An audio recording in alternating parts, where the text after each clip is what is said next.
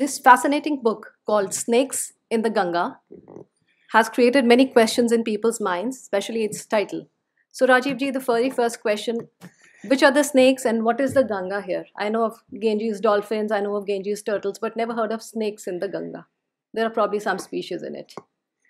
So, first of all, thank you for inviting us. And this seems like uh, it'll be a very good Q&A because uh, you've read the book and you're sharp and you have a background. Uh, this is quite welcome and wonderful contrast to the typical, you know, people just ask superficial questions. So I hope you ask tough questions because then we feel uh, more interested. and I'm in good company of my co-author and she's brilliant. So we're, we're a good team ready for action. So thank you very much. Uh, the metaphor of snakes in the Ganga is this. When you are in the Ganga, you are expecting that everybody is nice you're not expecting that there is any dangerous person. There is no violence. There is no threat. In fact, you're off guard. You're you're totally, you know, relaxed. And it would be a surprise if someone said that there's some dangerous things going on here. You don't expect threats and dangers. So we are saying that actually there is danger, but it's hidden. It's not visible. Uh, and it's not expected. It's coming from places that are not expected. So that's the Ganga part of the metaphor as the space which is considered safe for us, but actually there's hidden threat. The snakes are, there are three aspects to the snakes. There is poison. The snakes are spreading this poison. And there is a place where there is a nest of snakes where snakes are being produced.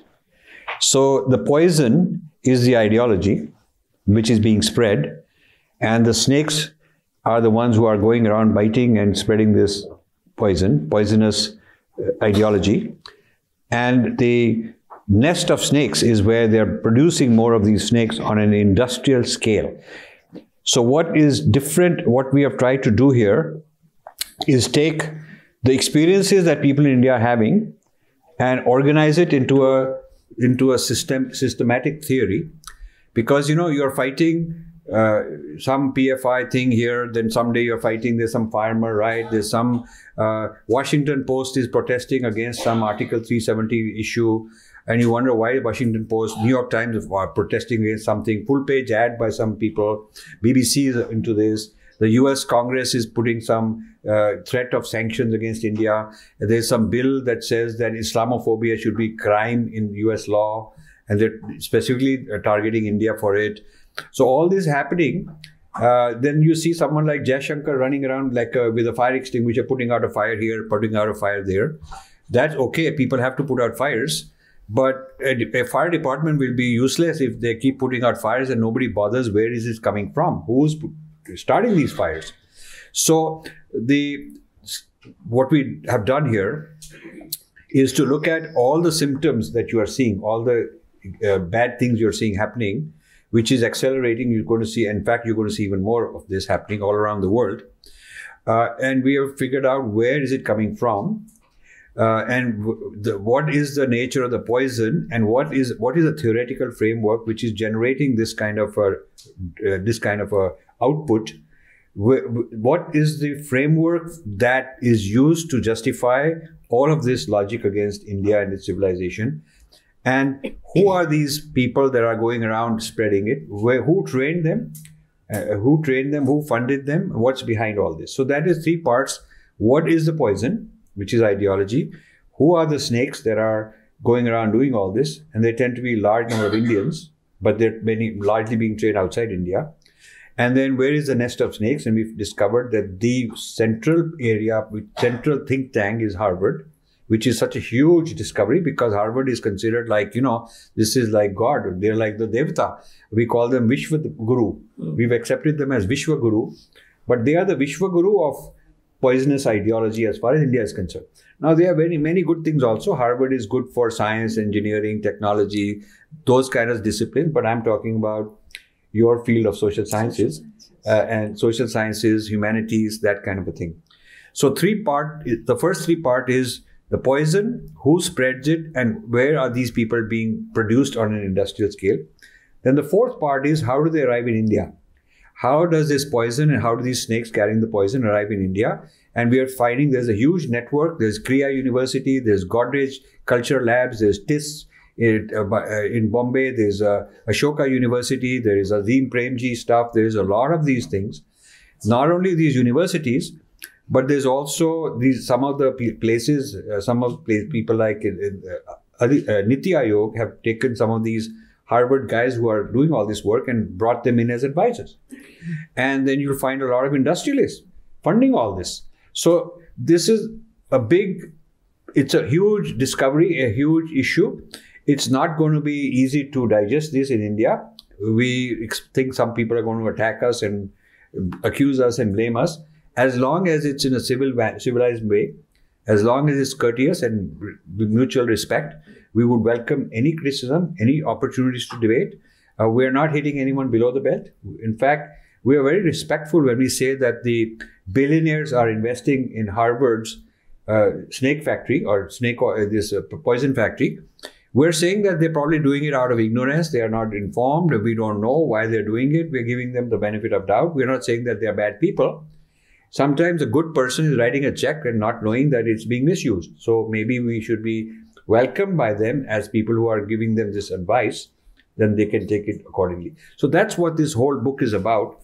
This whole idea of snakes and uh, is, is, sort of a metaphor for that. Right. Uh, Rajiv ji, as you said, this a lot of this education, a lot of this understanding is being produced in universities abroad, and there's a proper theoretical basis for it. Now, India has been sending its professors abroad since the 60s. And that is still going on, that the professors go there, get trained, get refresher courses done from there, and then they come back to India to train an entire class of people. Your first book, you talked about the church intervention in India. Now, this place is talking about academics primarily, as I understood it. There are other numerous, you know, facets to your work also in this, which is very, very all-encompassing and very, very comprehensive. So let's start with the theoretical basis of this teaching that is coming from abroad into India and how what is the teaching that is being generated what is the understanding or the theories being generated outside that are going to harm india in what way are they poisonous so uh, one of the big surprises as far as the theoretical part is concerned i've called it the americanization of marxism now you expect that americans are against marxism uh, they are but they don't realize that marxism has entered the united states in fact the us is sort of Marxism has been kind of reinvented and repackaged in another way. It's called critical race theory and wokeism. So most Americans are very shocked when you tell them that this is Marxism. They don't want to believe it. In fact, those who are propagating wokeism, I had a huge debate with one of them. He's saying, no, no, no, this is not Marxism. So I had to convince him, and then he accepted because there's. So Marxism is about oppressor oppressed. Oppressor oppressed. People are categorized in these two ways.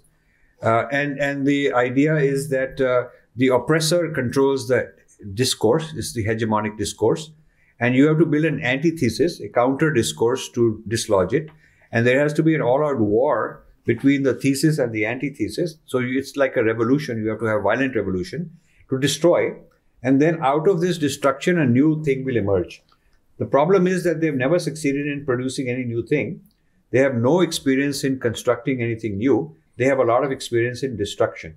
So it's a destructive in practice for since Marx started, there's not one instance where after destroying they've been able to construct something new, which is what the theory calls for. So it's a it, this destructiveness has arrived in the United States and it's affecting America.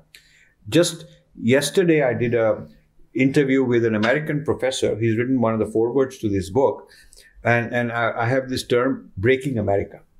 So I'm telling the Americans that this is breaking America like breaking India. So we are going to come up with jointly something called breaking America and breaking India because it's also it's the same thing breaking both. Now this Americanization of Marxism has entered the Black Lives Matter movement.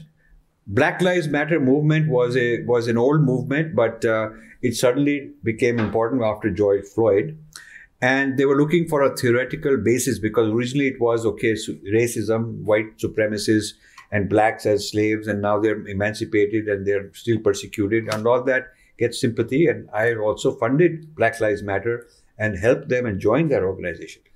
But then soon it was appropriated by these uh, critical race theory Marxist people. So they turned it into oppressor, oppress, the same logic. Once it becomes turned into Marxism, then certain things happen. One of them is that you can, there are people called protected classes, which means that you cannot criticize certain people. Uh, you know, you cannot criticize them because then you're considered racist. Then there's something called cancel culture, which means that if you are tagged, if you are branded as the oppressor class, you have no right to speak. And in fact, if you speak, we're going to cancel you, censor you very officially because you are the oppressor. You shouldn't speak. So this actually ends uh, free speech and good discourse. And you cannot really solve problems in this kind of an atmosphere. So now the question is who gets to be the oppressed? So who gets to decide it? Well, certain people have designated themselves as uh, uh, people who are going to decide. So besides blacks, Muslims were included. That okay, there are Muslims also oppressed. Okay, so then LGBTQ are included, and that's when the Dalits arrived and said, you know, we too are oppressed, and we are the blacks of India, and the oppressors are the whites of India, and they're all the non-Dalits are the oppressors. So this was a very good big uh, coalition. So these critical race theory people said this is excellent. We now got the big big uh, support. Mm. So a lot of people arrived in places like Harvard to say that uh, th- there is this thing called Afro Dalit. So the Africans and the Dalits have unified into this Afro Dalit identity. And uh, these people are based at Harvard. There's a lot of bye bye between them, brotherhood. So the Americans don't know too much about Jati, Varna, caste. They don't know the history and all that. They don't know the history of Islamic rule in India. They don't know that. So they, as, when this mapping is done, they've assumed that the Hindus are like the whites and the Muslims are like the blacks. The upper castes are like the whites and the Dalits are like the blacks. The straight people are the, like the white suppressors and the LGBT people are the, like the blacks. So the oppressor oppressed has been mapped onto the Indian society in a very weird way without debate. So if you go stand up and debate, then you'll be considered you are the oppressor, you are a slave or slave owner, whatnot.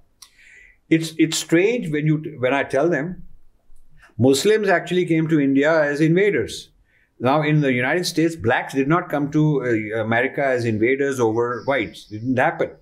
So the logic doesn't apply. You see. Hmm. Uh, so, and, and, the Dalits and the non Dalits are the same race. They are not different races. They are from the same uh, groups of, of uh, DNA. Uh, so, the mapping of critical race theory onto critical caste theory is not logical.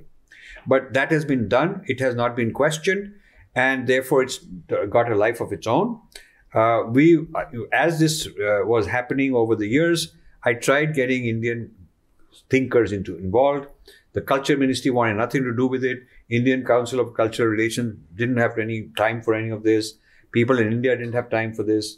Academic scholars didn't have. You know, I could go on naming a lot of but nobody wanted to deal with it because it's unpopular. They don't understand it. And they thought, you know, chalta hai, everything will be fine.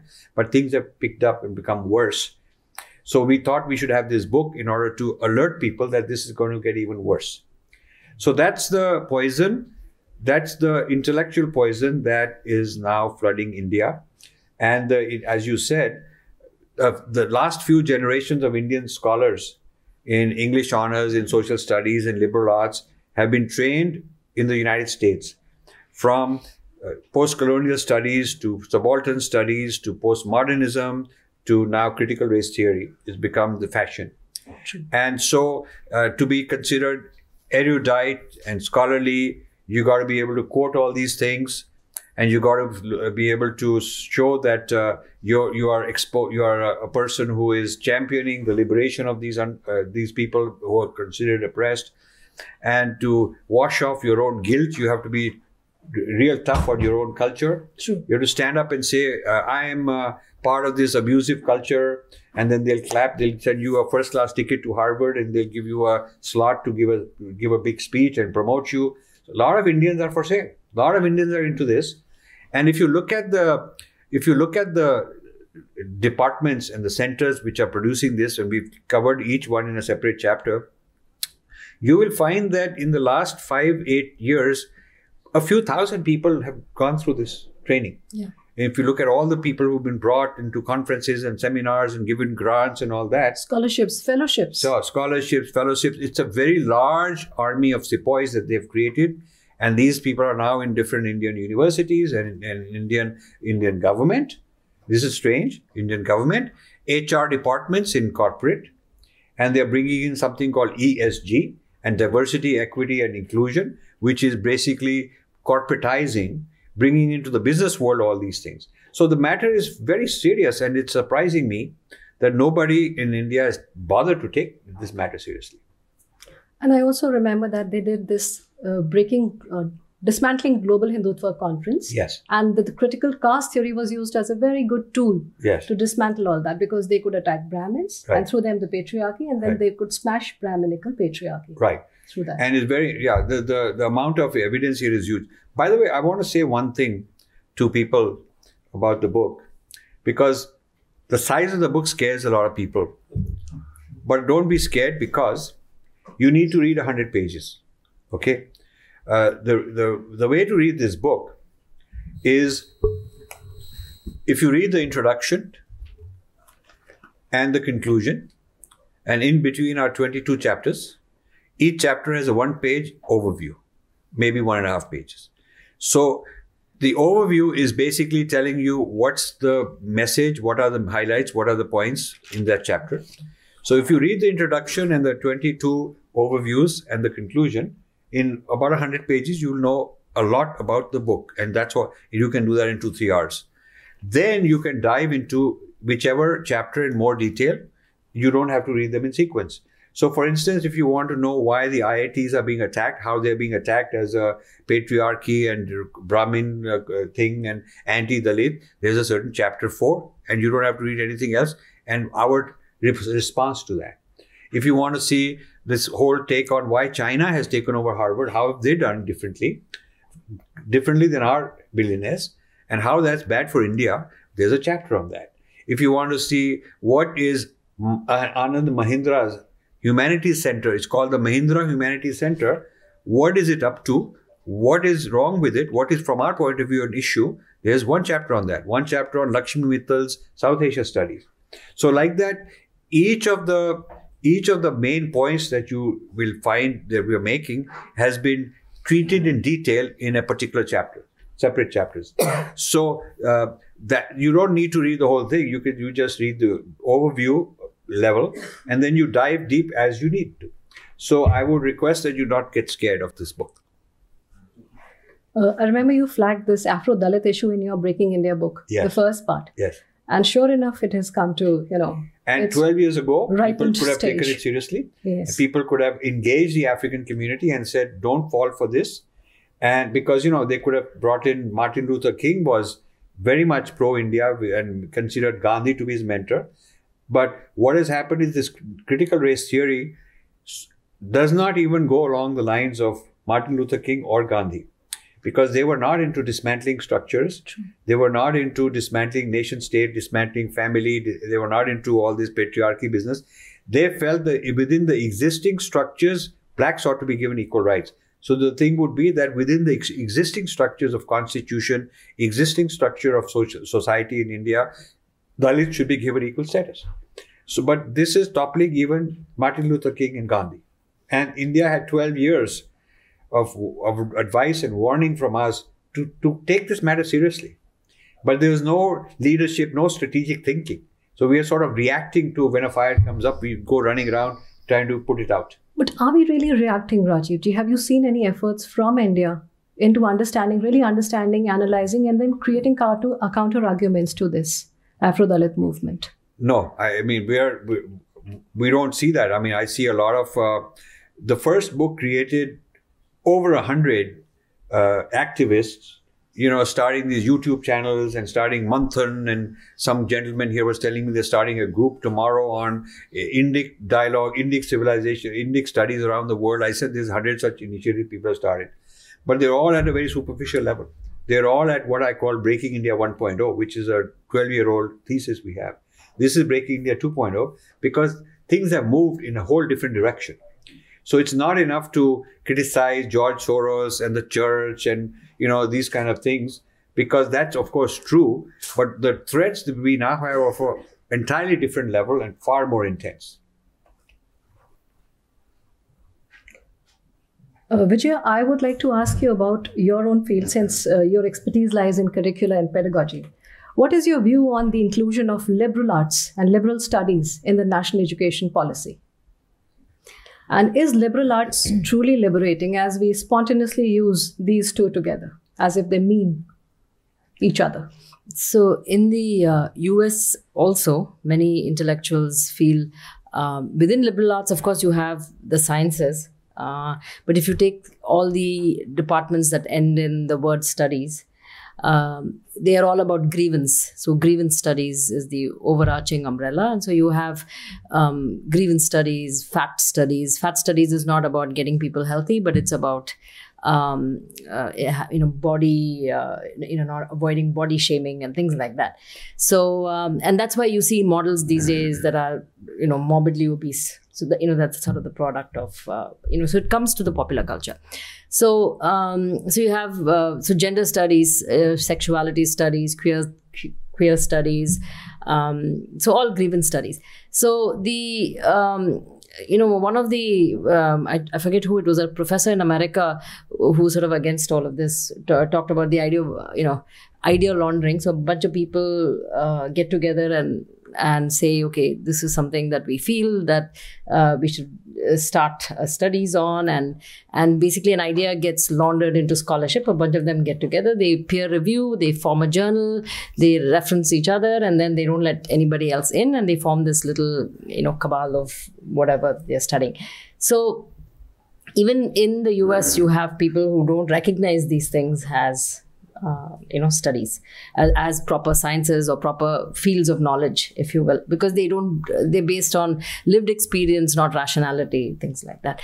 So uh, with the nep opening up the floodgates to foreign universities there are lots of problems because a um, i mean they might have thought that we would avo- avoid people uh, sending their kids overseas and we can instead have these you know, which was a noble uh, sort of idea. But um, what happens is you have uh, a lot of money. So, for example, Ashoka University, you spend uh, 10 lakhs a year, over 10 lakhs a year, you know, for four years uh, to get uh, a bachelor's degree in gender studies.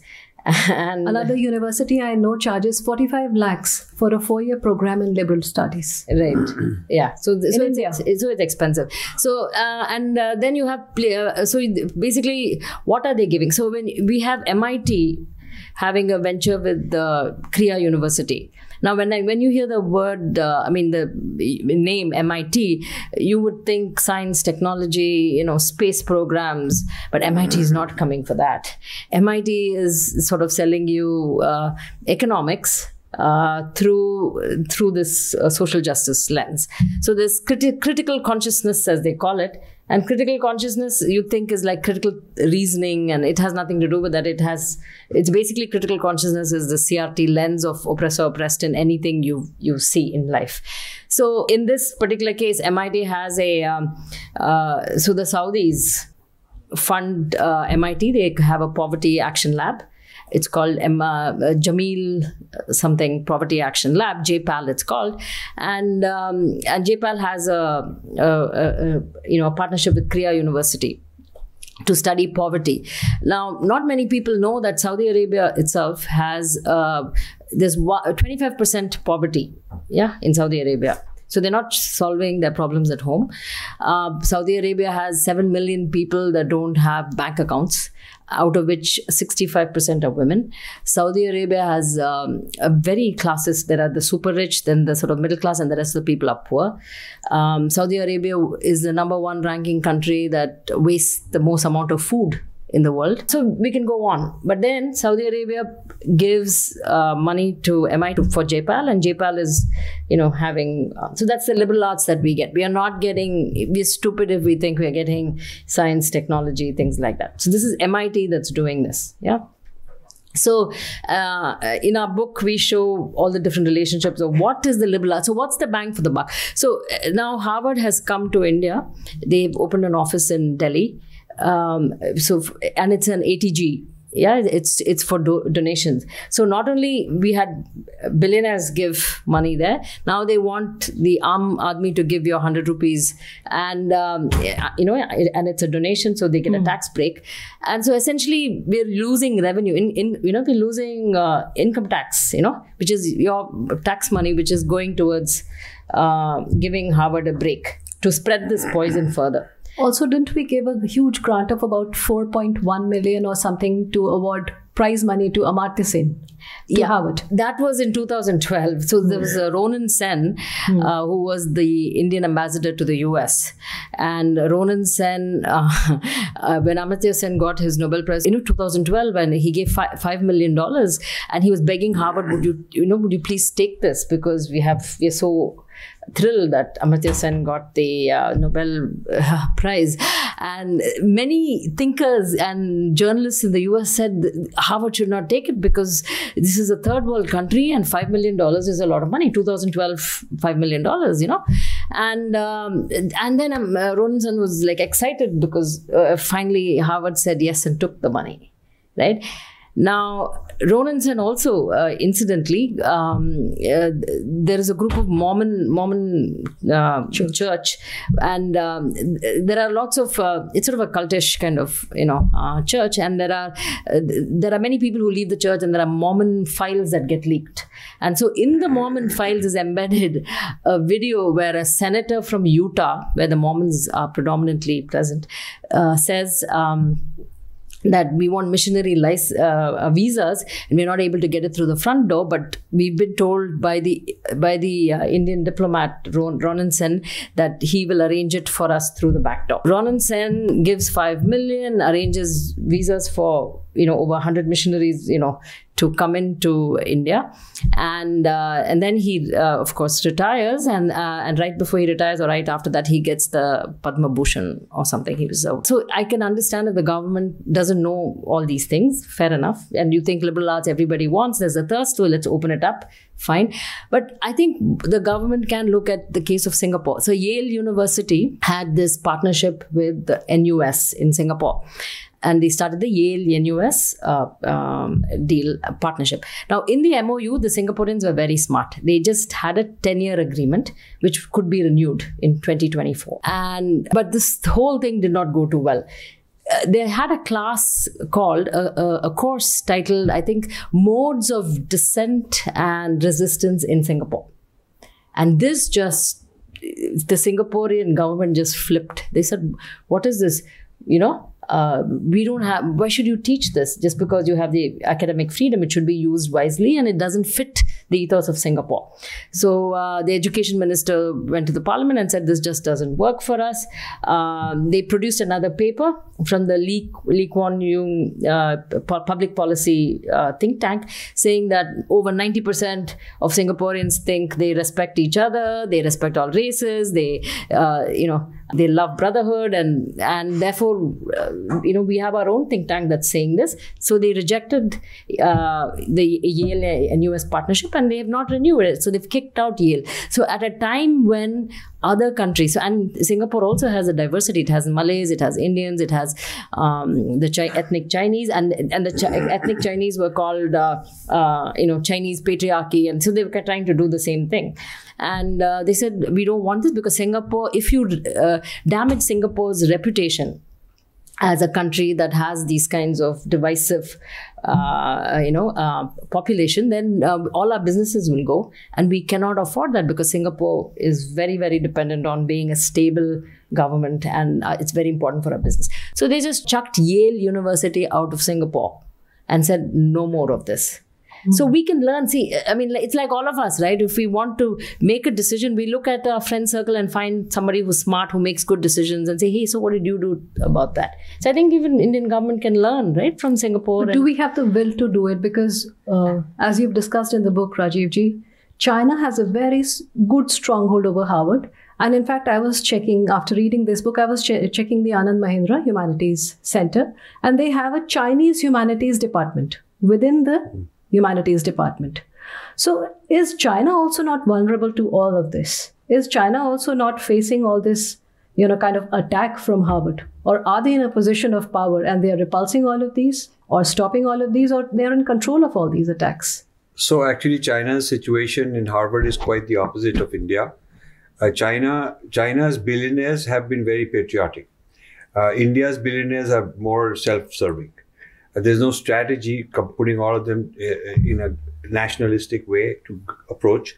So, a good example is uh, T.H. Chan School of Public Health is based on, uh, it's named after Chinese. And the two sons of this Mr. Chan, they named it after their father. Uh, they, are, they are associated with the Communist Party of China, which we've shown. Uh, they brought in $350 million and they gave it to Harvard to change the Harvard public school into the Chan. And so that is basically aligned with Chinese policy. They have never criticized China's role in the COVID. Uh, they have basically they're silent on the problems in China, but Piramal has started the Piramal Public Health at Harvard as a subsidiary under the Chan School. So Chan is the umbrella public health. Underneath that is the Piramal, and in the Piramal they're doing all kinds of uh, projects and funding and this and that. Uh, fine, it's their right, it's their money, they can do what they want with it. But we pointed out where some of the reports are things like, you know, during COVID, maybe minor- minorities were not given proper treatment, Dalits, Muslims, they were not given proper treatment by the Indian government. So even a field like public health is being used to kind of talk about the divisiveness of society rather than talking about public health. And you would think that a patriotic uh, uh, people like uh, Piramal, and I consider them good people for certainly, you would think that they would have championed Ayurveda, they haven't. You would think that they would champion that India has done a remarkable job in the vaccination of any country in the world. I don't see that as a topic. You would think that uh, WHO, which didn't uh, help, didn't certify and didn't acknowledge the Indian vaccine, they should have put pressure on them. They uh, they invited the head of the WHO for the convocation, and he's a VIP and he comes to Harvard and he's celebrated. But they are not lobbying the Indian point of view; they're lobbying the Chinese point of view. So you, if you take public health in, at Harvard as an example, and the same is true in many departments, uh, what has happened is the Chinese giving is a very strategic giving. They are very aligned with the, the billionaires are aligned with the government. They come together. The other thing is, and the, on the Indian side, the billionaire comes and he gets his kids in college in the Harvard, or he, he you know he gets to sit on a board or gets in a prestigious committee or he just feels like I'm a billionaire and I'm now a world world elite now, rather than just being an elite in India. I, I go with uh, uh, somebody on their private jet to some y- uh, island somewhere. I go on the yacht with this famous guy. I uh, I hobnob with Bill Gates and with Warren Buffett and all these famous people. So the Indians have are more into their personal, you know, lifestyle and feeling glorified and all that on a world stage. It's not necessarily that they're doing this out of nationalism. They're not doing it patriotically. So you will find that Chinese engagement in the United States is mainly bringing tech people to bring technology back, including stealing some technology. So they are into STEM. They are not into human humanities. They are not sending their students to learn human rights, social justice, gender justice, grievance justice, LGBTQ justice, women's studies, feminist studies. They are not sending uh, Chinese for that. They are sending the Chinese students in, a, in an orchestrated way, in a strategic way, uh, to study the technologies and sciences and medicine and all these kind of things which are useful for China to bring back this knowledge. And they were doing it for a long time, which is why they advanced so much in, their, in those fields. And uh, Indians, on the other hand, have no uh, strategy. So you can go for STEM education, or you can go and study some human rights and become an activist and somebody who's divisive and all that. Nobody in India has got a policy on that. I don't think the HRD ministry has a policy. I don't think the External Affairs ministry has a policy. I don't think the national security people have a policy. I don't even think they're studying the problem and taking it seriously. So the Chinese versus the and the Indians have a very different uh, positioning in Harvard. And Rajiv I would like to bring back the spotlight on the Afro Dalit movement again because mm-hmm. it concerns our country, our families also. So, how is the work at Harvard under the Afro Dalit umbrella affecting our families? How is it targeting the family structure? How is it targeting the children? How is it targeting the entire structure of Hinduism? So, you know, it's very interesting. You would think that, okay, if you want justice for a race or a justice for a certain caste, that's fine. But what does it have to do with family life? Why, why what family life? Precisely. So now what they have come up with as part of critical race theory is that you must dismantle family structures because family reproduces the bias into the next generation. So the theory is that child is born and because the parents are biased and the parents are oppressors, the child will also grow to be an oppressor. The parents are patriarchal, the parents are supremacist, uh, Hindu supremacist or white supremacist in the case of America. So therefore, the, fa- unless the family is dismantled, uh, uh, you know, the family is going to perpetuate this. So these people who are into the Afro Dalit, they're going around telling Indian students that you should revolt against your parents. you should, and so parents are spending all this money to send their kids, and parents don't know that this kid is going to come back and actually is not even interested in the parental your heritage. So this is why you will find that a lot of these billionaires, the senior generation, were very patriotic and very loyal to the our culture next generation they go and those kids are not interested in these things and they've come back cynical and antagonistic and you know and the parents are shocked. They don't know what happened but those four years in that university have switched them around. So this is a very uh, this these are things that ought to be brought to the surface. And people should we we all we are saying is we want to be able to discuss these but we are not allowed to because there's cancel culture. I've experienced cancel culture for 30 years now and I, am one of the earliest victims, long term victims. Before the term cancel culture was around in a popular way, I was experiencing cancel culture because I refused to toe the line. I, I'm not a dogmatic person saying I'm right and you're wrong. I'm saying I may be wrong and I'll change my mind. But let's talk. Let's discuss. I have a right to speak. And you have a right to speak too. You have a right to disagree with me and criticize me, but I have a right that too. So I'm totally for open discussion. But you must debate. engage. It must engage. And this is not allowed in places which are claiming to be uh, the, the centers of freedom and intellectual life and whatnot, and the word liberal and all that actually are basically propaganda. It's a, uh, it's a, the peers, the peer people who do the peer review are a kind of a cartel, and they've come up with a, uh, ideology which is kind of a commission and syndicated ideology and that's what is perpetrated. If you follow the line you will be doing very well in your career. They'll give you all kind of benefits. You don't follow the line then you'll be cancelled you put aside you'll be attacked all of that. So isn't harvard south asian studies doing almost the same work that oxford did when yes. india was colonized? Yes. So we've drawn that parallel also that when oxford oxford played that role for the east india company. They were the center of indology studying india in all kind of ways and that's where the East India Company officers were trained. And then, based on the thinking of Oxford and the scholarship of Oxford, they set up 20 different colleges in, in England where they would uh, have a huge scale operation to train people. Mm. And then they would set up uh, mirror images in India to do the same. So now Harvard is playing that kind of a role. It's got so much prestige, it's got so much money, it's got so much clout. Nobody can bother to stand up.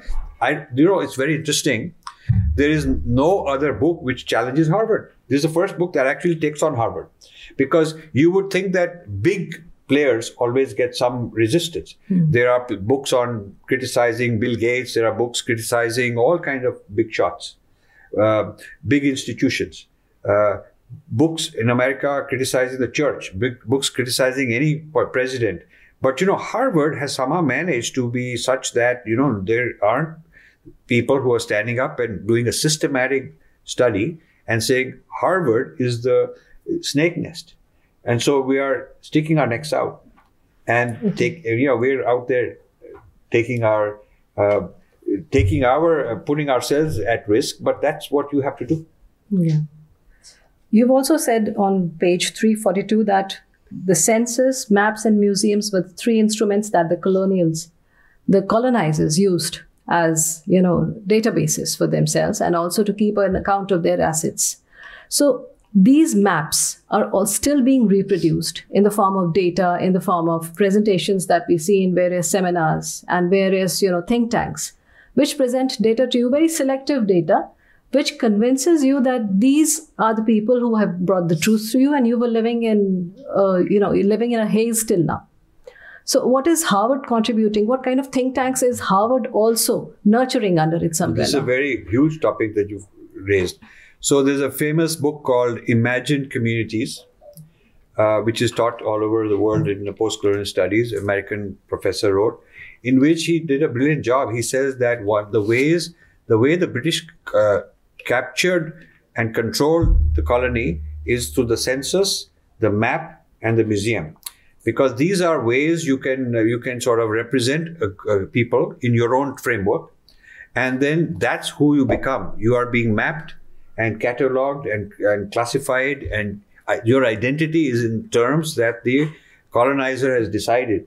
So this is the naksha this is the map and you belong in that. And so they did it through these mechanism very systematically. And this is this is the way you assert power over these people in a very sort of intellectual way and emotional way uh, so they're dislocated and disconnected from their own sense of who they are because their sense is based on, you know, they are belong to this jati, they belong to this gotra, they have this kula devta, they have this linguistic thing, and they belong to this gharana of music. I mean, their sense of who they are is very differently done.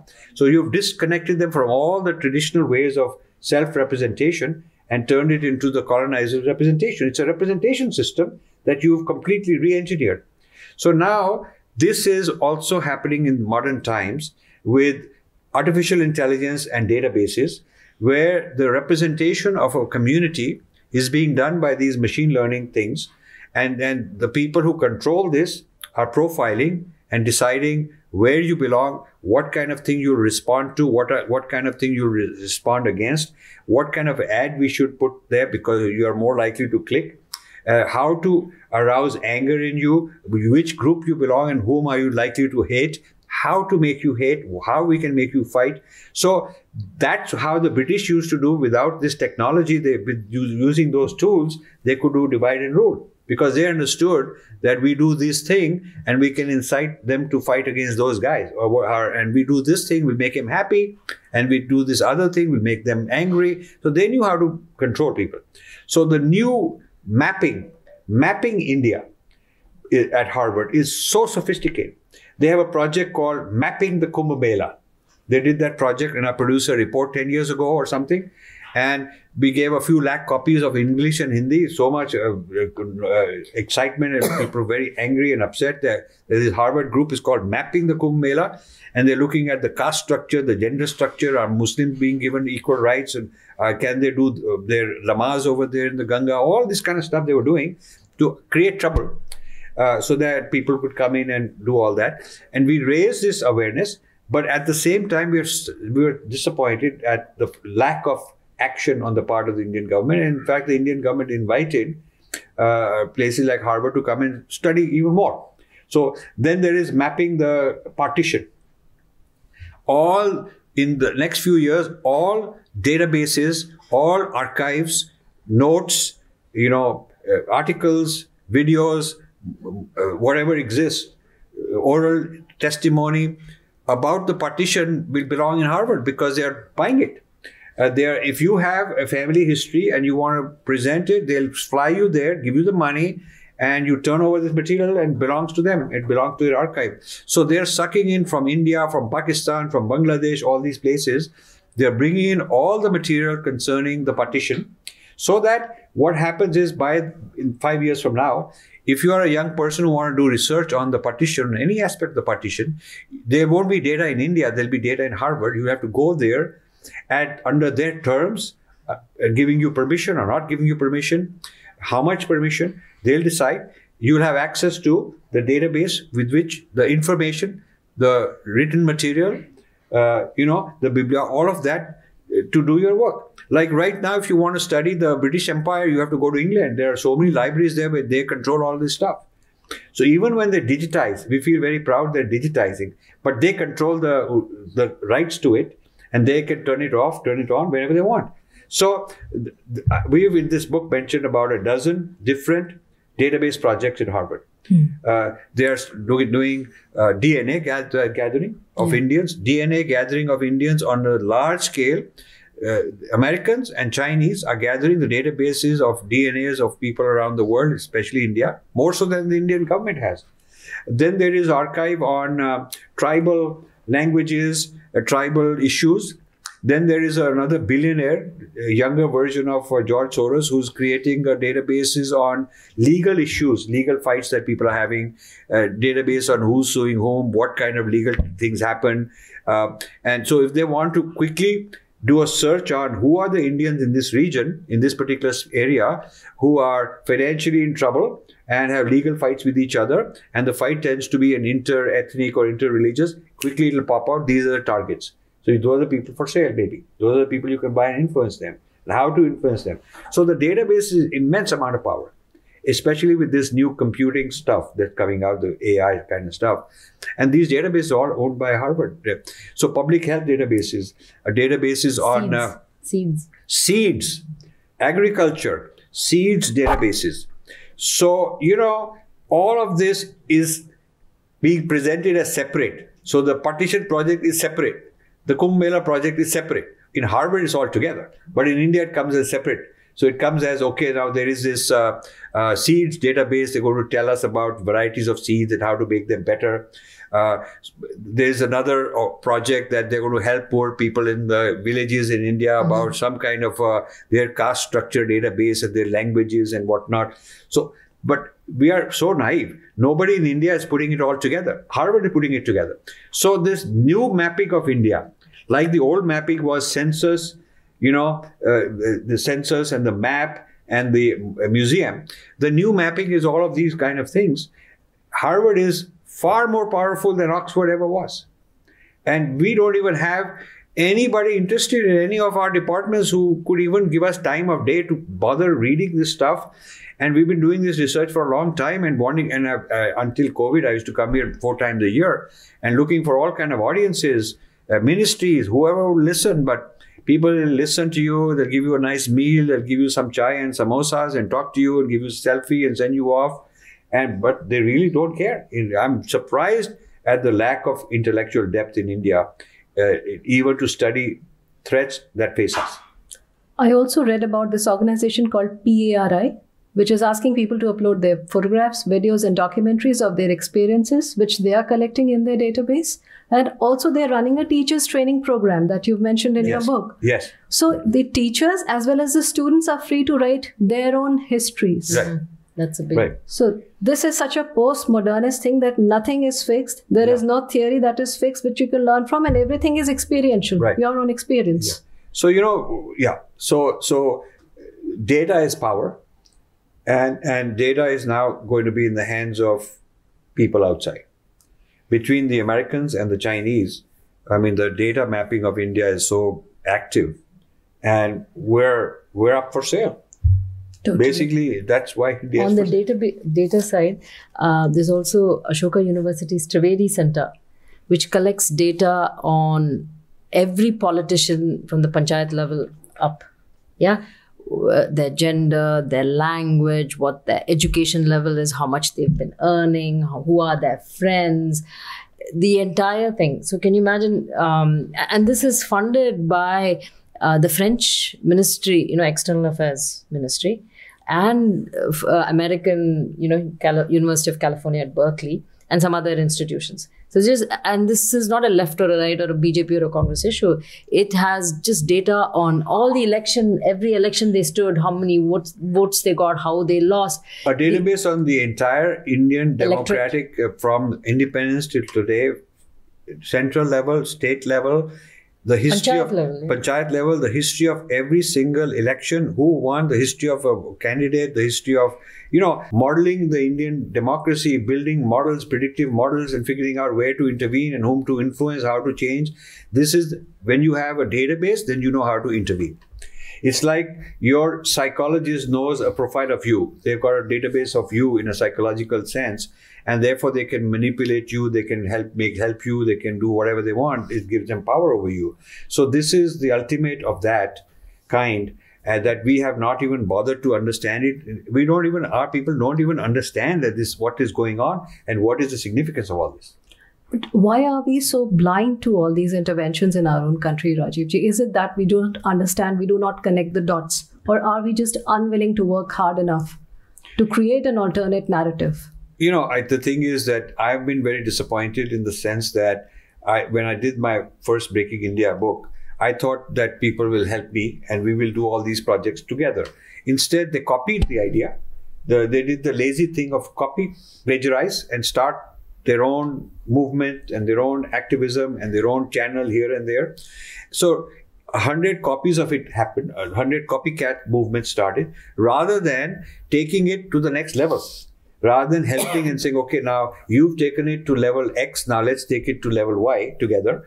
Everybody copying the level X and making it their own. So that, that is very dissatisfying. You, you don't see traction in terms of helping move these kind of uh, intellectual movements forward, neither from the government, not from the public, not from the academic world, not from the gurus. We tried all of those. So somehow people are just sort of very complacent, just going about life, you know. I, I, I, I and at the same time, people are when you talk, tell them about problems, they're very passionate, they're very emotional, but they're not doing anything about it. So, this, is there aversion to hard work or planning or strategic understanding? I think the Indians lack strategic thinking. Uh, it's more like tactical, what we call jugaad. So jugaad means I'll fix this problem. If this something happened, so I'll put some tar around it and it fixed up. Sar ठीक हो गया, ठीक हो गया. आपको क्या चिंता है? हम जो हैं हो गया, अब हो गया.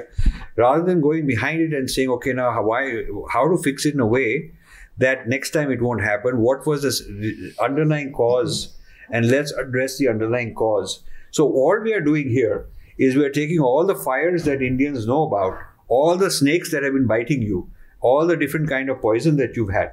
And trying to figure out now where did it come from? What's the theoretical framework? Where where are these snakes being made? What is the institutional mechanism the factory which is producing them?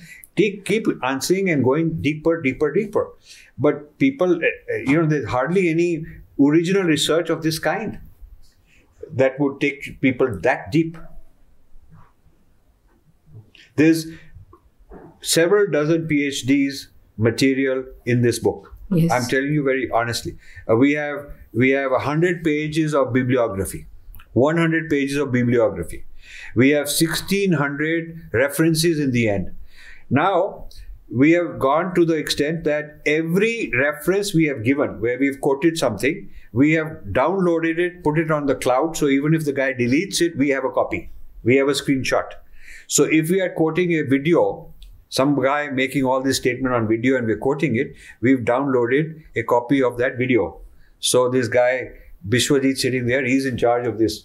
So if they delete their web, their YouTube, we still got it. That's how thorough we are. So we are opening it not only as a book, but as an opportunity for other people to come do their research. So you can take this, uh, uh, the material that we're going to put on our website, and you can write, write your dissertations on this. We would love it. We would love to help people who want to do their dissertation and their research and their books, taking this idea even further.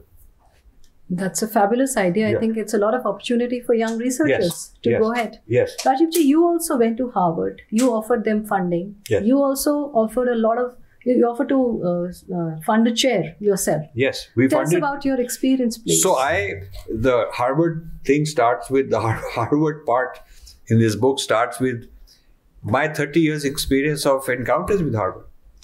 And the encounters were two kinds. One was that a lot of Indian knowledge over the last 200 years, which has been digested into Western thought, has been done at Harvard a lot of Indian philosophy, Indian psychology, Indian medicine, Indian linguistics. Harvard was a center of taking Indian knowledge and digesting it and calling it their own. There were so many people Emerson, Thoreau, Whitman, T.S. Eliot. Uh, Whitehead in, term, in the process uh, uh, philosophy took basically Buddhism.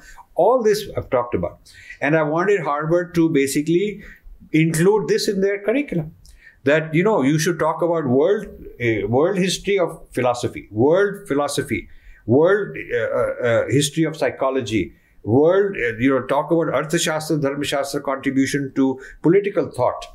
Uh, and, and, economic thought. They were not interested in those kind of things at all. and and what then I would criticize the negative part where they are doing a lot of negative things on India.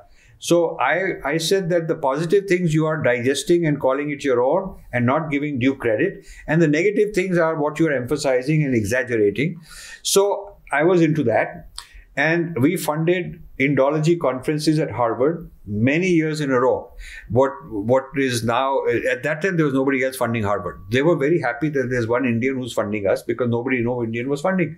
I'm talking about uh, 25, 30 years ago, all the way till about 2005, six. We were funding Harvard every year. My hard-earned money, my chota mota, whatever I had, putting into it and saying, okay, let's get a visiting professor. So once we got Ashoka Aklujkar, who's a one of the important Sanskrit scholars.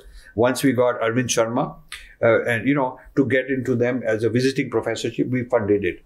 So, and we funded so many projects there. And I only I found that you cannot change their mind. There, it's like uh, what I call it uh, feeding the crocodile. You feed the crocodile thinking he'll become like a puppy dog, he'll wag his tail, become sweet to me. But after you fed him any amount of stuff, he'll still want to eat your hand. If crocodile DNA is what it is, you're not going to change his DNA. So feeding the crocodile doesn't make any sense. So I stopped funding them because what happened is I started responding to what they were doing. I'm paying them money. There's a dissertation, and I have a problem with it. I'm not opposing that uh, you have every right to do this, but I want to give my opinion. And I want to sit when there's a discussion going on. I'll sit in the audience, raise my hand, and I'll be on the record making a statement. And they didn't want to hear all that. They didn't want to hear all that. Although they are supposed to be the center of free speech, they did not want to hear all that. So uh, I found that uh, I was getting cancelled, which was very embarrassing for them because I'm funding all this. So they would write to me saying, Infinity Foundation is great, but Rajiv Malhotra is troublemaker. So they would write to me and say things like, Acha aise kijiye aap, you come, the president want to see you, and you'll have a nice dinner. We'll put you on uh, interview in the newspaper. You know, they wanted to sort of flatter me and kind of bribe me so that I leave them alone. But I'm not built like that. So I, I thought I have to work even harder to criticize, figure out what's going on. So at the end of the day, I said no more and we packed our bags, no more hard work. But we gave millions of dollars worth and, you know, but we learned a lot. Then there was a period of a few years when actually they were they were silent and they were not really that aggressively anti-India and anti-Hindu because we gave them a big hit. And but then when we withdrew, our Indian billionaires took the place and 10 times more, 50 times more, 100 times more money they're throwing at Harvard, exactly on the same projects that we were opposed to. So I was opposed to them. I was criticizing them, put them on the back foot, put them on the defensive. But when I withdrew from there, our own billionaires were very happy to go in and fund them and give them money and feel very proud at, and all that stuff. So you I feel very. met those billionaires, Rajiv. I have met Anand Mahindra in his office. A very decent man. Hmm. Very nice, decent man. I have met Ajay Piramal in his office, Piramal Towers. Very decent man. Extremely good people. Uh, I, I, have met Lakshmi Mittal in uh, in uh, Bahamas or wherever there was this conference. Uh, I, I think on a personal level, they're very nice people. Uh, and I, my feeling is that they are not adequately informed about how their family name is being used, how their money is being used in ways that you know, if you start reading what all are the quotes from their center. And the strange thing is that when the guy is standing up and making these speeches that are really negative towards us, uh, it's uh, the, the, backdrop says Lakshmi Mittal Center, mm-hmm. and the guy standing there making a speech. Obviously, it ought to embarrass Lakshmi Mittal that you're using my name. Mm-hmm. The person who's the director of the uh, Mahindra Center, uh, he's a well-known one of these postmodernists, very dramatically, radically anti India, one of these postmodernists. And he's well known for his views, and uh, uh, we've, we've named names, criticized them here. So, if I were one of these billionaires, I would say, "Hey, listen, let's let's take it in the right spirit, uh, rather than getting angry at this guy. Let's uh, look at what they are saying, and see if it is valid. If it is valid, then we should take some corrective action. I really wish they would pick up the phone, call the Harvard people, and say, you know, we don't want our name or our money to be used in ways that our countrymen think is not fair. Our test is are we are first loyal to our country. And if our countrymen are upset at the output, you have a right to uh, be free thinkers, but not with our money. So if, the, if they would get together and do that, Harvard will change because Harvard cannot afford a scandal that Indian billionaires pulled out because they're uh, because they claim that they are Hindu phobic Harvard would be scared because you know our billionaires don't realize how much power we have. Our billionaires have a lot of clout and a lot of leverage, but they just don't know. And nobody has advised them until now. We are, we, we think we are doing an advice kind uh, kind of job on there for them, uh, but nobody until now has really shaken them up and said, you know, you do have the power. You should actually use it for to uh, to help your country. You should put in the projects which are things like uh, I, I had a course which we funded called uh, unacknowledged contributions from India. Un- uh, India's unacknowledged contribution. What are all the things India has done that are not given credit? And we taught a course like that. They didn't like it, but our guy went and he taught a course like that. And then another course was biases against Hinduism in the American Academy. We funded a course at Harvard. It was in the course catalog and it was taught. So, but you know, you would expect that the billionaires would fund such things. Hmm. Corrective. Yes. You should fund things that are correcting the bias in your and making it in your favor rather than funding whatever they want to do and keep having more bias. it takes courage. You know, but if you have inferiority complex, you're very happy that some Gora guy is going to pat your back and give you a big hug and all, then you're not going to stand up to them. So you, no matter how many billions you got, the point is if deep down you have a in your skin you have scared and you have a inferiority complex and whatnot, you know, यहाँ पर तो शेर बने हुए हैं, but if you are when you are facing those people, you are very scared to take them on. That's probably a problem. Whereas the Chinese are very forthright. Yes, they are. They're very deeply nationalistic, also, Raj. Very forth. You know, we did a survey. We asked, uh, we wanted to do a survey with Indian students on experiences. One of the things that came out was experiences of how the Indian students different than Chinese students. So the Indian student gave me very interesting insight. They said that uh, in many um, classes, uh, you have a peer evaluation, which means that not only teacher evaluates you, but other students evaluate each other on class participation. Uh, you, your paper is read out, others will evaluate it. So they said that whenever there's peer evaluation, the Chinese give very high evaluation to each other. Indians knock each other down. Indian knock each other down, stand up and say, "Oh no, you're this, oh you're like that." Very proud, they are bring bring you down. Chinese not in in, in public uh, bring each other down; they'll support each other. A very interesting comment that Indians made about this. I know. of There's something in our character. I don't know what it is. I know of an army daughter, uh, Rajiv ji, who condemned her own father, who had won a Kirti Chakra, posthumous, in a public space, and then she got a seat at Harvard. this is actually quite common. They they will uh, they will incentivize, make such a person a role model, and ask many others that you also can get award. So others can also be recruited Yeah. through the same method. Yeah. Very simple. Uh, Vijaya, uh, now that uh, the government has come down so heavily on the NGOs, so FCRA regulations are quite stringent, what other methods are being used to make inroads into Indian organizations, especially the government ones? Um, FCRA is actually is a thing of yesterday. Uh, it's antiquated. Nobody, you know. Uh, uh, the I think the churches used some of the chur- other organizations to funnel money through, but um, so there is a stru- uh, even in um, even within the U.S. Uh, the big billionaires like um, you know Facebook Zuckerberg. Uh, there's a Zuckerberg Chan something. Um, it's an LLC. It's not an NGO. It's even within the US. So the idea of having um, an LLC is they, they pay less tax. It's a pass through. They pay a bit of tax, but you have total privacy in terms of all your dealings. There is no mandatory um, Disclosures. amounts that you have to you know uh, disperse by the end of the year. I mean in non-profit organizations you have to spend certain amount of money. So they don't have any of that. They can just you know just accumulate the money. They can also um, uh, you know uh, uh, when you when you start an ngo and you're on the board you have to have other people uh, and you really don't own it and if, if there are some uh, violations, uh, the nonprofit would be shut down and the money would go to the government. So they avoid all of this. But the biggest thing that they get is secrecy. So if you look at Omidyar, uh, you know, that, that yes. we have over here, Yes. uh, they do uh, a lot of projects which are for profit on the on the so they so there are no visas it, it comes under regular business visas you know so all those things you can do it's not an ngo It's anymore F- FDI. Uh, yeah, foreign direct investment. And then um, whenever you see the word social impact, it means it's a sort of a non-profit thing Impact that's investing. impact investing, social impact. All of that is essentially it's activism in a for-profit shell, but with you know they're either collecting data or um, you know pressurizing the government. Now, if you look at so that is one thing that has changed. So FCRA is just so yesterday, uh, it, nobody uses it, and we are still cracking them. But yeah, so the second thing that's happening um, is uh, they are using places like uh, Ashoka University again. They have a, a, a department for philanthropic studies or whatever.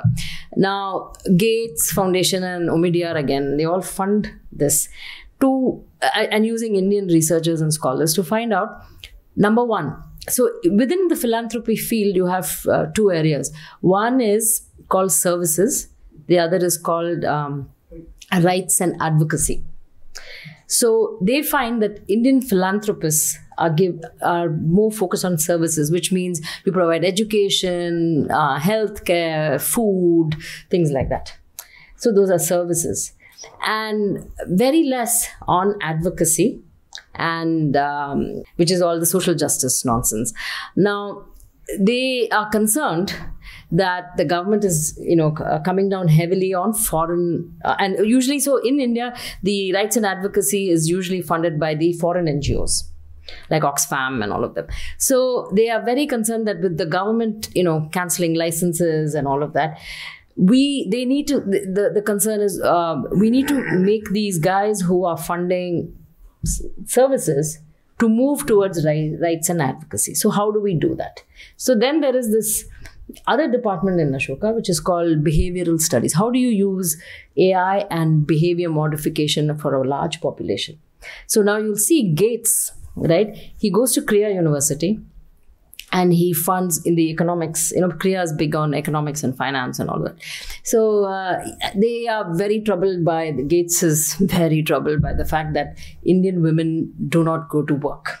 Their labor force participation is low. How do we increase that? So we have of course nothing. We're all you know uh, free to work or not but they all but they do not um, respect a choice of a woman to not go to work and take care of the family so how do you incent that? So first they study who's doing that, and of course it's with the caste lens again. They they blame the upper caste women uh, have are lacking in mobility to participate in the labor force. So it's again patriarchy of the Hindu system that's not allowing them to work, uh, and maybe it's just a choice, but they don't care to find out. So Gates is very concerned why Indian women are not working. Uh, because when the Indian woman works, then they, the children are, you know, uh, there's nobody to pass on this culture and all of that, and this patriarchy that Rajivji talked about.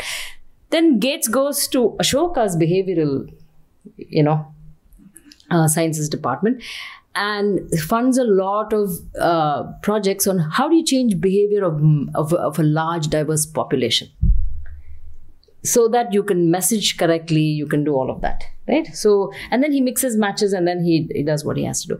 So that's the you know um, uh, they are, they're using these newer ways of non-profit you know uh, um, um, implementation if you will.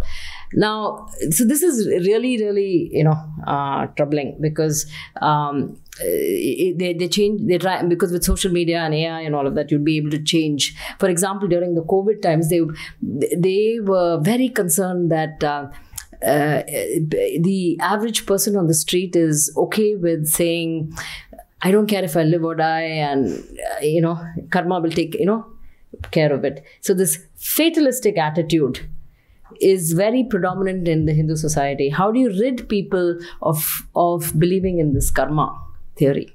So dangerous. So this is dismantling Hindutva in a different way, in the guise of, oh, you know, where the average man says, you know, it is what it is. I have to work. I have, you know. So so so there's that danger.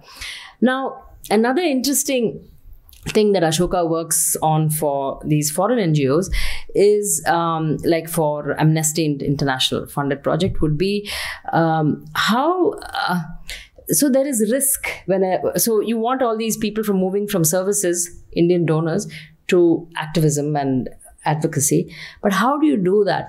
Uh, because there is risk you know the individual donor doesn't want to stick his neck out and and support some hindutva cause or some he, he wants you know or, or, or some leftist thing because the government might change or whatever. So he is risk averse. So they come up with these ideas of um, getting uh, groups of people together so that the risk is mitigated. You so if a group of 10 uh, wealthy you know high net worth individuals get together then it's it's like a, a, small co-op of people who are just sort of doing and so you can't blame all 10 of them. Um, so how do you mitigate risk right? And that is essentially what you see in that isf ispmf or whatever. There is this coalition for media where uh, kiran mazumdar everybody who's who of indian you know corporate honcho is over there. And, and so that's the idea. You create this you know a, a, group a coalition of these people to fund leftist media. And here and there they throw a swarajya or something in just to appear neutral. But you know 9 out of 10 would be you know okay. far left media yeah anti sort of uh, the narrative. So that's one way. Then there is this other so similarly even there's a, there's india foundation of the arts. It's a it's a foundation that um, you know invests in uh, gives grants to artists. Now um, and so the the um, head over there says very proudly that uh, see art is about art is political. Let's face it she says. And so it's again gender caste uh, this the usual genre of things that come you know. So and um, so one of the so one of the reasons people fund through us is they don't want to fund individually. So they they just give it to us because we, we just invest in art. And uh, and nobody can tell us how to invest uh, or whom we you know which artists we choose. So you give the money to us and then we will you know do that. And all the corporates lots of the corporates invest india foundation of the arts you can see the you know the three to five crores they invest every year give giving small grants to uh, so it's political activism through art. I mean, so it's endless. So these are the newer ways, you know, which which which are not direct you know there are not uh, it's just not money coming in. They are trying to change behavior. They're trying to move people from services to advocacy. They're they having shell sort of structures. Uh, they're mitigating risk. So these are sort of you know uh, these are the latest in in how they're very sophisticated. They're using technology ai behavioral modification. I mean and we are still like sort of knocking on fcra so uh, that ship has sailed long ago. True uh, can we throw the uh, house open for the audience? Uh, I have a question regarding the woke culture, right? And uh, as you already talk about the cancel culture, so if you discuss anything, you are basically cancelled, right? I've listened a lot of your interviews also. So when I talk about uh, talk about woke culture, and uh, this new thing is coming, right? gender. there's a difference between sex and gender. Right. This thing they are trying to push in India as well, and I think our government, uh, I mean, I, am not sure if they are also gone woke. They're not realizing this, but they are also trying to put shit into the curriculum, right? So how do you see that, you know, impacting the youth? What I feel like 10, 20 years back, Bollywood has a lot of influence uh, on the youth and you know the sex before marriage and all those things become pretty common in our society. And if you talk about uh, the, this gender thing i think this will uh, destroy the whole family culture and the basic fabric of the society. How do you see that? Okay. I think you're on to something very important. I, I, I agree with your observation.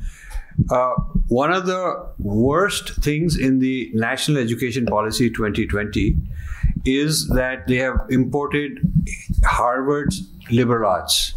This wokeism in the name of liberal arts. So they are taking even the IITs and bringing social sciences and liberal arts. And rather than making good engineers, they're going to make mediocre engineers and activists who are into all these kind of things. So the this is my criticism. Uh, Actually, people think that uh, NEP is great and all that. Maybe for STEM they're trying to do things, and for the as far as their policy on liberal arts is concerned, there is not any investment in developing Indian models of liberal arts, Indian theories, Vedic theories of social sciences, Vedic theories of you know there is. I don't see that. I see that uh, when you when you say that you have to do liberal arts, those those people are going to open the the front open the floodgates to more of these Harvard type people coming in. Uh, and so, what you're talking about, wokeism, is being brought in by the Indian NEP. Uh, and and uh, I was also shocked that uh, NCERT put out a training manual on gender with this whole absolute copycat of LGBTQ activism. I mean, I have no bias against LGBTQ people. I think they are wonderful people. I have a lot of friends in that organization. But I feel that uh, you don't have to dismantle Hinduism and attack Hinduism. In the introduction to this book, we have we've had a, a, a testimony from a Hindu woman uh, uh, who has written. She's in LGBTQ in the United States, Indian Hindu woman. That her experience is that joining their their version of LGBTQ required her to denounce and give up Hinduism as a con- precondition because that was required. She could not be both and she decided that she'd rather be Hindu and not be part of their organization and practice her whatever she wants in within the context of Hinduism. So there is all this wokeism is also deeply anti-Hindu and and and anti-Indian nation state. And so when NCERT brings in such a thing, they are just completely stupid. And so a lot of people protested, and then they said, "Okay, we won't do it." But you know that shows their mentality. Uh, they're not even aware of what they're doing. The, I think this HRD ministry needs a whole education. They need to be educated. Actually, the, before they can educate the country, they're miseducating. The other uh, institution is Indian Council of Cultural Relations. They are the international uh, body of Indian culture. Uh, the Nehru centers report there. The culture uh, attaches report there, and I and interact with them. Now, I must say, Dr. Sahasrabuddhe, who is the head of that, is a minister, is the head of the ICCR, very decent man. Uh, and and you know, on the one hand, they gave me this award. This uh, June, they gave me this award as uh, Indologist of the Year or something like that in the Indian uh, consulate in New York. So I'm uh, on the one hand, I felt okay, they are recognizing, but on the other hand, besides this ceremonial thing, as far as the content is concerned, zero. Uh, zero in, in, interest and zero appreciation. So I don't need an award for myself. I, I would rather that they help the cause. Uh, you know, how facilitate us our work is a better award than recognizing an individual. So I think that they are really not strategic people neither HRD nor uh, ICCR. And the strange thing is, Ministry of External Affairs got Jaishankar, who's a very smart guy. For a change, we've got a person who really stands up and speaks. But he needs to be backed with a whole research cell. And uh, there is no insight into, you know, once uh, Indian Consul General in New York uh, was going to Harvard many years ago, and he, a friend of mine, he had come and uh, spent time in my house and wanted to understand the landscape, and I told him about all the problems. So when he was going to Harvard, uh, he called me from his limo and said, I'm going to Harvard and both Yevo, I'm the chief guest, Falana. And so give me some points, what I should say. And it was a nice sounding topic for the conference. So I said, but tell me who else is invited, who else will be on the stage. So he just, he said, I don't know, but let me just tell you. And he read out those names. So I said, listen, this fellow is a Khalistani. This fellow is a Kashmir separatist. And I told him the background of all those people. I said they will gherao you and make an embarrassment out of you. And you know, they will, in fact, that's exactly what they were going to do. So he got so scared. He called up his office and they also, they verified because I gave him some links and some background. They, they, they had not done any homework. And he turned back and said, I'll call in the emergency and not show up. So Indian I was surprised. I said, doesn't your Ministry have, of External Affairs have a cell in Delhi that uh, before your ambassador goes somewhere and makes a fool of himself, somebody he should check and they should see where is he going, who are these people that are inviting me. I mean, certainly you would do a security check for physical security. You should also do a security check for intellectual security. Uh, is this guy going to the wrong place? And he, he had no. I was his research department. Me. That was a. So this is the state of affairs. So I'm uh, Aditya, and uh, currently I'm masters uh, with a blend in machine learning, artificial intelligence, and an MBA. Um, so uh, my heart is beating too fast. Uh, it's been years uh, listening to you guys. You have been part of a formative experience uh, for me, and uh, I've been vaccinated, so I won't be standing up. Please pardon. Uh, I, I have a two-part uh, question. Uh, given that the uh, the the problem is uh, multi-domain there are many factors variables. Will the solution look uh, be a generational solution morphing over time or is there a crystalline vision already apparent? And secondly uh, given that uh, I uh, I am into this field and currently like I have a project tentative project with uh, the museum in Janpath scanning these broken murtis and all and trying to at least get something reconstructed and the meaning uh, across. So uh, any advice on that front? And secondly it's like uh, it doesn't require a serious question. Uh, yeah, yeah uh, it's just a joke kind of thing. So are the snakes since the uh, time of shiva or, or are they just recent in ganga? And like what's the context? Is it relevant that like all the neighboring countries they have the moon and the crescent and like uh, is the game being played since? So, by the way, snakes are not all bad, you know. I mean, there are poisonous snakes, but there are wonderful snakes also. So, we're talking about the poisonous snakes here. The, the, the, there is a, even in our in our uh, Kalia in the in the in our itihas and all that Kalia was this uh, poisonous snake in the Jamna spreading poison and then Sri Krishna had to come and take care of him. So the our tradition also had both kinds of snakes so I don't want to uh, blame snakes of as a species you know we're, we're not against snakes as such. And your other question on uh, you want to answer about the what to do about fixing education is what he's saying the real question is fixing education how to fix because that's really what you are after. So as far as fixing education is um, step one would be like rajiv ji said not to partake in liberal arts till we get our own liberal arts.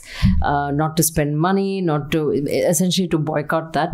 Uh, but secondly to also understand what the foreign liberal arts is. Um, for example i'm a mechanical engineer. I have no lena dena with liberal arts. Never liked it never wanted to do it. But sort of you know yeah i i you know i have to read marxism and all that language which is just so tedious to to read. Um, and you have to understand language because um, what so you so the way they spin things right? And it's a very good because it's coming into corporates it's coming everywhere. So they'll catch you one way or the other. You can't escape it. So uh, the difference between equity and equality.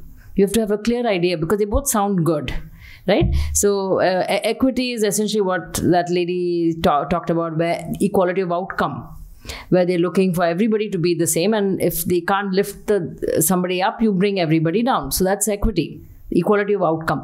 You know uh, and equality essentially is equality of opportunity. You leave the doors you support people you you give and give encouragement so that they can enter. So so these these sort of liberal arts words sound very good. Like uh, you know like gender is a social construct. So it doesn't sound that bad. Uh, in fact yesterday i was talking about uh, you know they want to uh, destigmatize uh, pedophiles so that's coming in gender studies. It's something that you should know. And so they call them minor attracted persons. So a, a pedophile versus a minor attracted person doesn't seem so bad right? So um, so they're trying to destigmatize it and def- and thus make them an oppressed group. These are dangerous things you should know if you tomorrow you have a child and you know somebody says i'm a map nice to meet you, alarm bell should go off.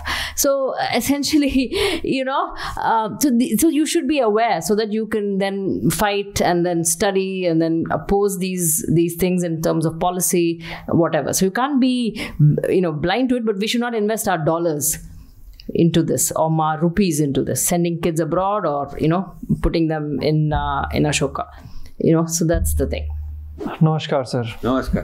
Sir तीन घंटे दो घंटे में मतलब every bit was super informative and as you said rightly that many dissertations can float out of this छोटा सा सवाल देश में बयालीस सौ एम हैं।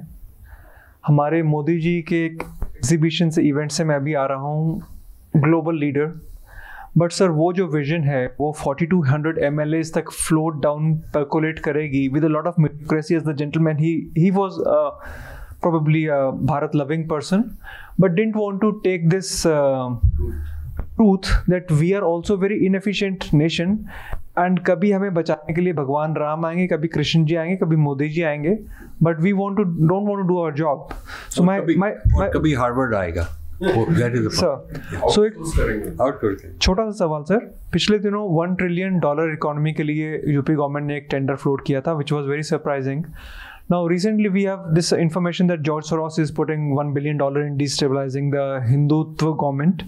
So, if one person is becoming the face, there will be a lot of shadow investors also. Like if somebody wants to say that I'm going to put one billion here, ten other people who don't don't identify it, they would put in their bit- you know their their money. So India में politician is not very well educated, forget exposed or aware. He puts his job to the bureaucrat. Bureaucrat hires a consultant, hmm. as we have been hiring a lot of companies from PwC. Every big project goes to PwC EY. We have the election coming, sir. George Soros wants to destabilize the government.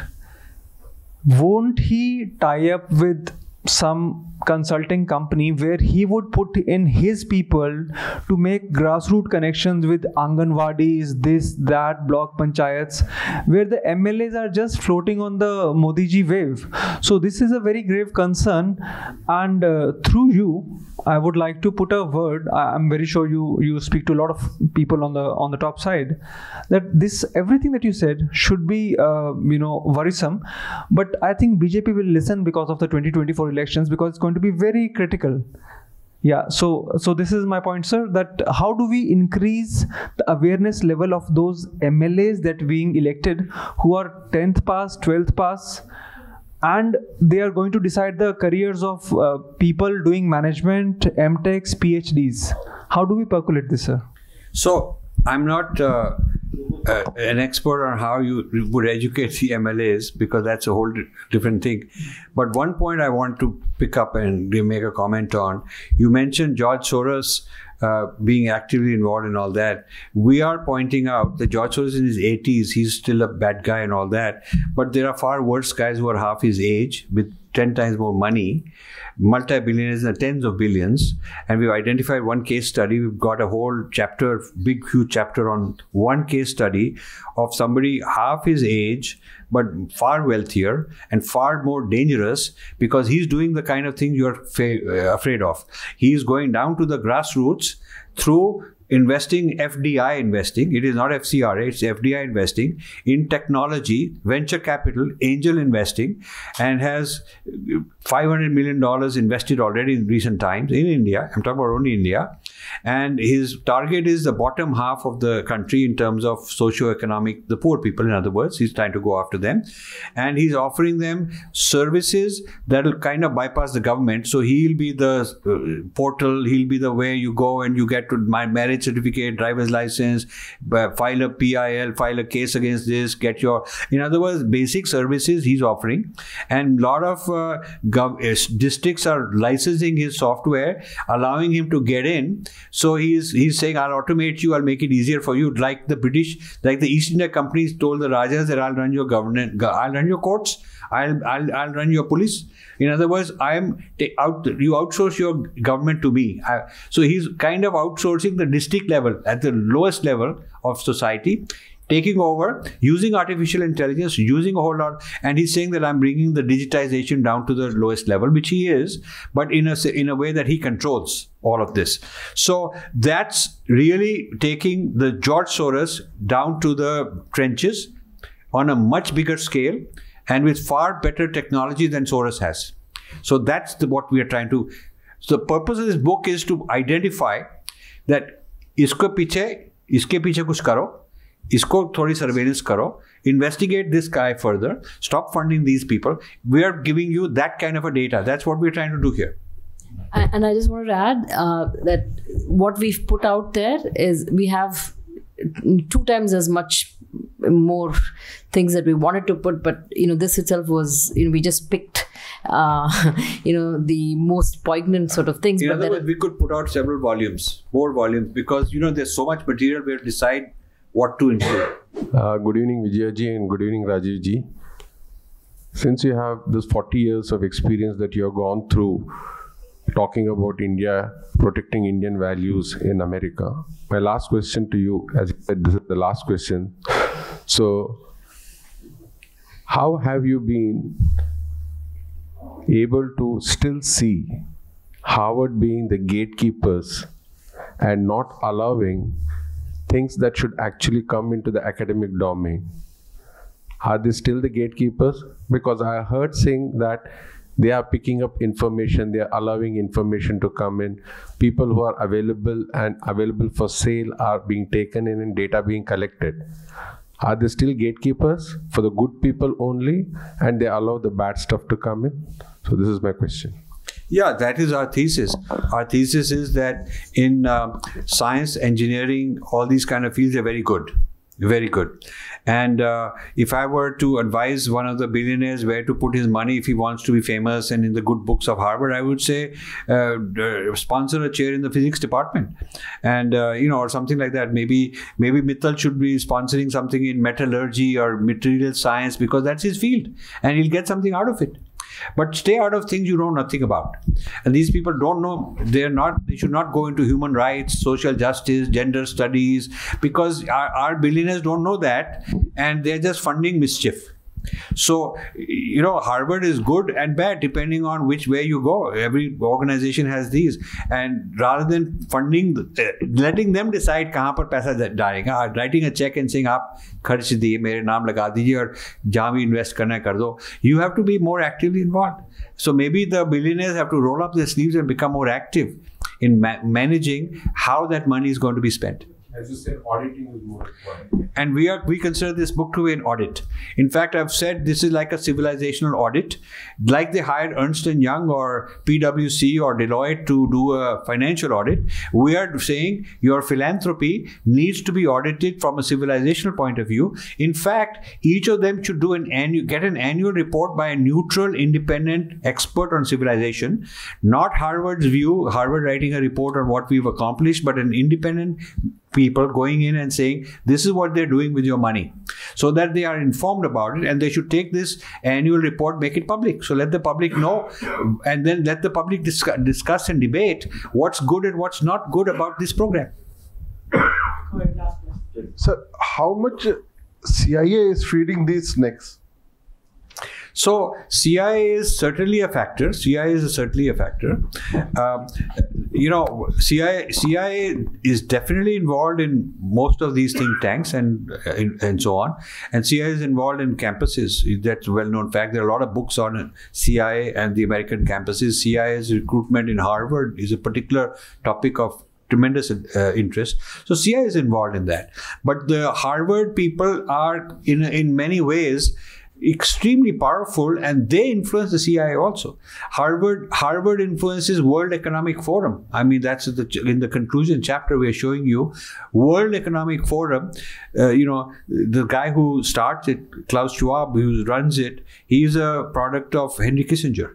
He was a student of Henry Kissinger, and when he when Kissinger was in Harvard, and the two of them decades back came up with this idea that something outside America, outside Harvard name, with an independent thing, should mold world thinking, bring all the leaders of the world into one place and make certain things fashionable. So now all this uh, ESG, the ESG movement started there only. You know, the, they they championed it. So a lot of the Harvard ideas, one of the places they export is U.S. government, another is think tanks, another, you know, so on. But one of them is World Economic Forum also. So they have many outlets to distribute this ideology. Uh, we'd like to end this session now, and uh, I really thank uh, Rajiv ji and Vijay ji for participating in this, enlightening us, awakening Indians to India, and this is really a Bhagirath Kaj. And it's ongoing for both of you. And I hope uh, we all can also contribute to this awakening and also get on to real work on ground so that this work also bears fruit. I thank you. I thank you for being here. Namaste. I thank the audience for Thank being here. much Thank you. Namaste.